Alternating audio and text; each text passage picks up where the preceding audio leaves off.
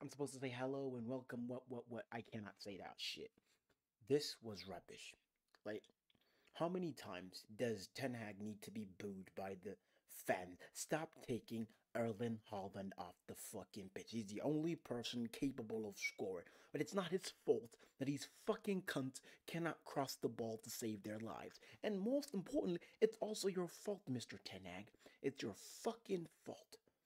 Bruno Fernandes. Everybody knows with football sense this man is a 10. This man plays the cam position. Central attacking midfielder. What is wrong with this man's noggin? Does he not know? Bruno is fucking useless on the right wing. Does he not know that? After managing over fucking maybe over 17 months managing this United club. There's no fucking identity. There's no style of play. We're just working the ball forwards and hoping Rashford, the battery guy, mm, Duracell bunny, runs all the way and scores. But he's not doing that anymore. He hasn't scored in a long time don't even have the stats, fam. But I know it's a fucking long time he hasn't scored. His confidence is shit. And everybody knows you put Garnacho on, he's got more flair, he changes the game. You spent 90 plus million on a winger, on a right fucking winger, and you won't play him. You'll play Bruno then. Granted, he had issues, personal issues, domestic violence, and yada yada nonsense. He's been cleared of that, fam. He's been allowed to play. Play the motherfucker. And when the motherfucker is on the pitch, you know what the he starts turning into a fucking boxer, trying to punch Doku and shit. I don't know what the fuck is wrong with this team. And Onana, oh my god, I feel bad for Onana. I feel bad for Maguire. I feel bad for Evans. These guys did a service today. Onana made six, five, maybe seven saves. We, it could have been shambles. It could have been seven up, a fizzy drink again. It was just atrocious, fam. There's no style of play, there's no cohesion, there's absolutely nothing. And we can we can say, oh, the Glazers out. Oh, fuck Ten Hag, fam. Fuck him. This is all his fucking fault. Like, you bought Mason Mount for 50 fucking million from Chelsea, where he didn't even fucking play, fam. You bought him in. You don't even play him. Fuck, he was injured. Okay, he was injured. You don't play him. And when you actually put him on the fucking pitch at halftime, the fucker does nothing of use. He's absolutely useless to the team. He does nothing of service. He does nothing to save us or to prevent us from being humiliated even further. That's what pisses me off. Way off. Hmm? And don't get me started. We could shift the blame. Oh my God, it's Maguire's fault. It's Onana's fault. These guys did nothing wrong today. Except for that one time, nothing. I got nothing. I got fucking nothing. I can say it's except for that one time, nothing. The right wing was useless. Dalot was escaping from position. Bruno was escaping because he's not a fucking right winger. It's not rocket science, Ten Hag. It's fucking simple. You're a coach. You're a manager. This nigga was turking. He was like, Coach, take me to Manchester when you go there. In his goodbye messages, to your goodbye message when you were leaving, pardon, when you were leaving Ajax for United. Antony, you won't play him. And when you do play him, he's in, he's, oh, for fuck's sake. And then you take off Amrabat. Like, why the fuck did he take off Amrabat? Why? And you're gonna say, "Oh no, uh, you're losing your cool, dude. Relax." Why did he take him off and leave McTominay on? McTominay is a moment player, a moment player. He's shit the whole game, and then he gets one chance at goal, two goals. Oh my God, he's a star. Play McTominay every week. Oh no, we're gonna win. And he plays him all week. Removes Eriksen, who has the ability to cross the ball. Granted, Eriksen is useless defensively, but attacking wise, he's useful. But then you take off the only player who's defending, who's fucking Amrabat. Yes, he got a silly yellow card. Are you saving him for the Newcastle game? The Carabao game. Fine, you're saving him for that. We're losing, fam. We're fucking losing. shambolically. I'm losing my fucking cool, fam. I'm losing it. And, who the fuck do we blame? Time in and time out, we're always blaming somebody. Somebody's got to take the blame. Who are we blaming? Hmm? Who are we blaming this week? Are we going to say, oh, it's this guy's fault? No, it's this guy's fault. No, it's this guy's fault. It's definitely his fault. He did this. Who did this? Every fucking week, fans leave Old Trafford early. You know why? Because of shit play. No style of play, no cohesion. Tactics are rubbish, fam. Rubbish. You have a right fucking winger. You don't play him. You take Reguilon from Spurs on loan.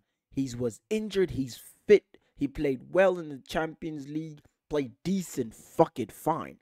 You you put you put Lindelof in, who's shit at right back, by the way. A left back, right? Is it left? Yeah, a left back who's shit at left back. When you you took a player on loan from left back and you don't fucking play him,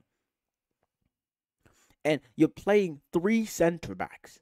I would have assumed if you're playing three center backs, you want to play with three at the back, but no, you don't. You still play four at the back.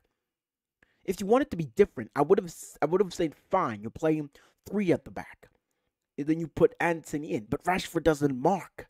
He, he doesn't track back to mark players, and, and he's out of form. We're not going to be talking about Bruno when Bruno, when the team starts losing, he gets frustrated and he gets carded for silly fucking moments. That's not a captain's attitude. But we're gonna be blaming everybody. We're gonna be fucking blaming everybody. Let me look at the stats here for a sec.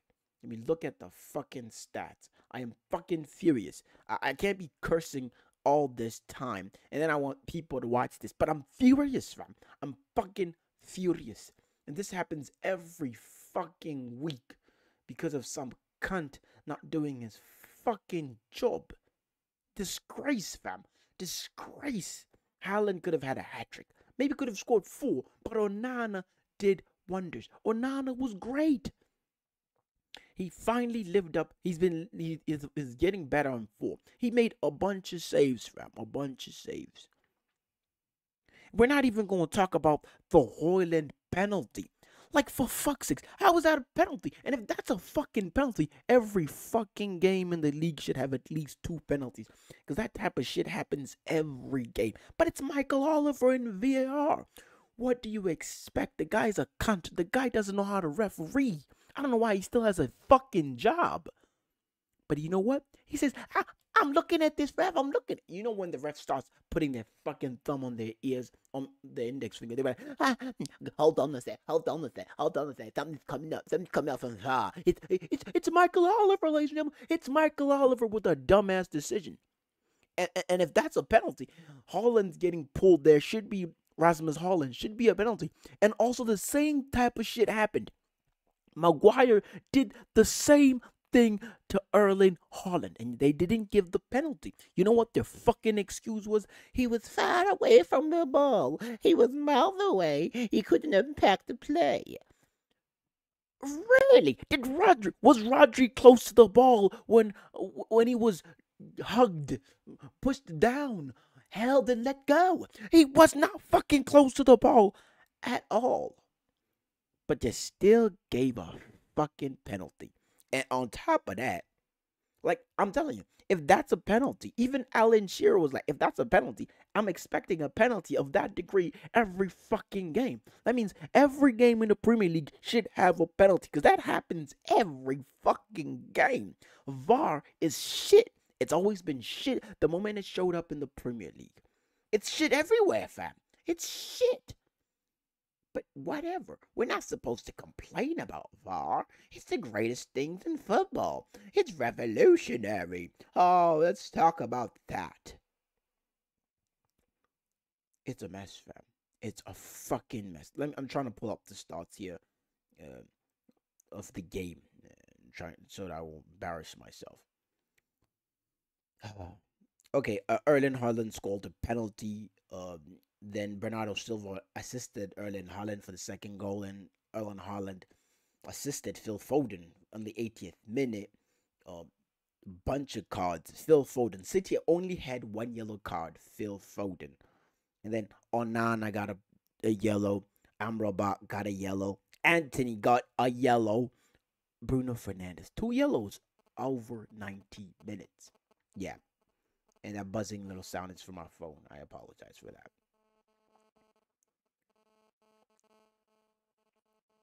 I apologize for that if you're hearing that. I'm hearing it in my ears. So anyway, uh okay. 61% ball possession. Uh, 39% by Manchester United, 61 by City. Uh, shots on target, 3 Manchester United, 10 City. Uh, shots in total, uh, 21 for City, 7 for United. Touches, 528, 761 for City. Passes, uh, 597 for Manchester City, 379 for United. Tackles 14 for United, 12 for City. 24 clearances, 9 for City. 7 corners and 12 corners for City. 4 offside, 0 offside. City don't need fucking offsides, man. They, they they know how to They're putting on offside traps like nobody's business. And together, ladies and gentlemen, Manchester United has won head to head games. United has won uh, 25 matches in 53, and uh, uh, City has won 19. They've been winning every fucking game for a long time. So, yeah. Last time we played them, they won uh, two. We won. Last time we played, we won. And then the game before that, they they beat the shit out of us six. So it's always a goal thriller. Always more than three goals are scored. But this time, City scored them all. Like, like the lineup, fam. The lineup. The lineups, fam. This cunt had. Why the fuck? Great news, Kobbie Mainoo's back on the bench, so that's a great thing. Yay, hooray let's start clapping and pretend that's valuable information. Oh my god, that's valuable information. Yay! It's not. It's great that he's back. You know, the loss of Casemiro proves on this middle. But even with Casemiro back, we've been playing shit for a long time. This club has been playing shit. Who the fuck do we blame? Do we blame the Glazers? They're not picking who starts the match. They're not picking the tactics, are they? No, they fucking ain't. I'll tell you who picked the tactics. Erik Ten Hag. That's who's picking the tactics. And I see no tactics. I'm not a manager. I play FIFA. I play the game. No, I have not. I, I have two left feet. I've been watching football for a bad long time. I've supported United since I was born, nigga. It's family team and shit like that. But I'm gonna tell you this. I don't know what we're doing. I honestly, under Ole, we were playing a counter attack football. That was a clear and sighted thing. We played counter attack football. Under Ralph Rangnick, we tried to play uh, possession proactive football, gem pass. We only did it under one game when we played Crystal Palace under Ralph Rangnick. Mm. Under Jose Mourinho, we parked the bus most of the time and we beat the team with a counter attack as well. And then under my God, we've been playing counter attack since Sir Alex Ferguson left. Who's the fucking to Are we gonna say because we don't have a proper director of football who's signing players based on smarts, based on that, based on the system? Perhaps. Hey, maybe this thing will work out. Let's give this nigga another year, maybe. Maybe two more signings, but he's buying expensive players, fam. Is it his fault that these players are expensive? I don't think so. Who's negotiating these contracts? Like, this happens every fucking year. Rashford was great last season. Man was incredible. He fought hard for a new contract. He got a new contract and he became shit. Oh my god, that rings a bell. This happens every fucking season with United. A player's shit, and then a year's left, and the contract's up, and they play great. They win Golden Glove. I'm talking about David De Gea. He was shit for a while, but he was saving us. Without David, we would have lost a lot of games with a lot of goals. But he was up for contract. He got Golden Glove. And I thought we were going to give him a contract, but we didn't give him a contract, which was out of the ordinary. Like, what the fuck is going on? Rashford was amazing the season four. Amazing. You know what happened? They gave him a new contract, and after he signed on the dotted line, he became shit. He became shit. Bruno was decent. Got a new upper contract. Became shit as well. Uh, Garnacho was great. Got a new upper contract. Became shit as well. He's not shit shit, but he will be shit. Every fucking player this club gives a new contract to becomes shit. They play well to get a new contract, and finally, when they get a contract, a new contract, they become shit. As soon as they sign on the goddamn dotted lines, they become shit. That's gonna be a lot of ruckus uh, on the editing part. I'm sorry. So yeah, I'm fucking pissed. Three fucking nil, fam. Three fucking nil. And then when you look at City's bench, and you see that you know Dzeku's not even playing. Grealish is looking great on that left hand side. He's looking really great, giving Dalot I miss Wan-Bissaka. I can't believe I'm saying this. I miss Wan-Bissaka. I miss Luke Shaw. I miss Martinez. Now we're gonna say, oh my god, we're injured. We got a lot of injured players. But the defense is not the fucking issue, fam. We lost 3-0. I get that. But the defenders didn't fuck up. The strikers ain't doing shit. That midfield is dead, bruv. It's dead. It's fucking dead. This is a, a rant that that that midfield is dead. It's dead, dead. And I'm pissed. I'm beyond pissed. Uh, anyway, uh, look, this what this other shit happened. Uh, West Ham lost to Everton by uh, a goal down. Aston Villa defeated Luton by three goals to one.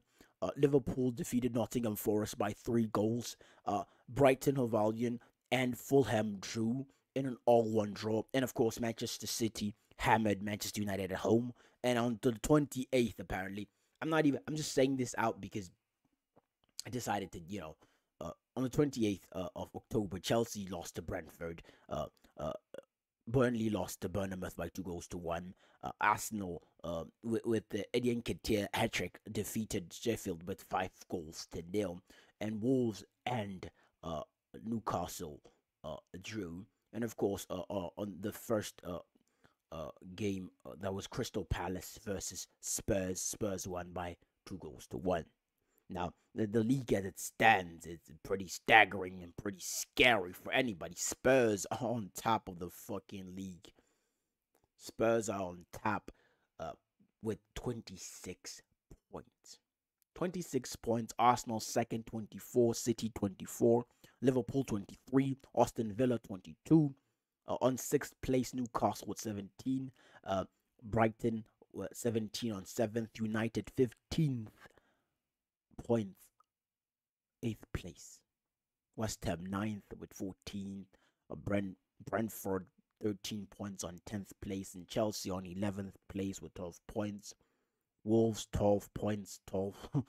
uh, Crystal Palace 13th place with 12 points. Fulham 14th place with 12 points.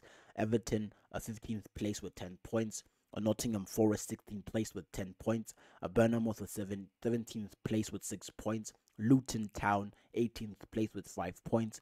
Burnley 19th spot with 4 points. And Sheffield with uh, 20th place, the last spot with a single point. The only team to have not won a single game this entire fucking season. Yeah, nah. Absolutely atrocious. That's what I'm telling you. This was a joke, fam. This was a joke. This was a joke. This was a joke. Yeah, anyway, uh the uh, the league returns on the 4th of November.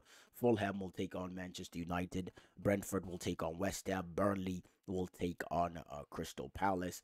Everton will take on Brighton. City will play Bournemouth. Uh, Sheffield will play Wolves. And uh, Newcastle will play Arsenal. And um, Monday, that'll be the Sunday. I mean, Sunday, 5th November, there'll be Nottingham Forest takes on uh, Aston Villa, Luton uh, host uh, Liverpool, and uh, the closing game on Monday. Monday Night Football will be Spurs versus um, Chelsea. Yeah, that and that and that that and then of course we've got uh the Carabao Cup uh on the the the thirtieth of October and the first of October, and uh, United will be playing on Wednesday against Newcastle. So Ars- Arsenal will be playing West Ham. Uh, Liverpool will be playing Bournemouth. Chelsea will be playing Blackburn. Everton and Burnley will be playing against each other, and Ip- Ipswich will be playing Fulham. So Mans- Mansfield will be playing Port Vale. Uh, Exeter will be playing Middlesbrough. So yeah, yeah. Net. So City beat the crap out of us, and that's it. I have nothing more to say. Twenty minutes long. God have mercy on us. Anyway, uh, thank you for listening to my so-called rant. I was pissed. I feel a lot better now. I guess talking it out really helps. It really does. So every Manchester United fan, talk to somebody. Get a therapist. Yell at a camera like I did, and you'll feel better. I can watch movies now and move on with my life. Back to sadness on Wednesday against Newcastle when they beat the crap out of us. Anyway, uh, thanks for watching my rant, I guess.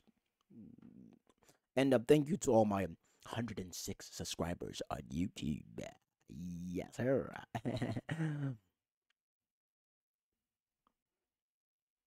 Bye. Bye.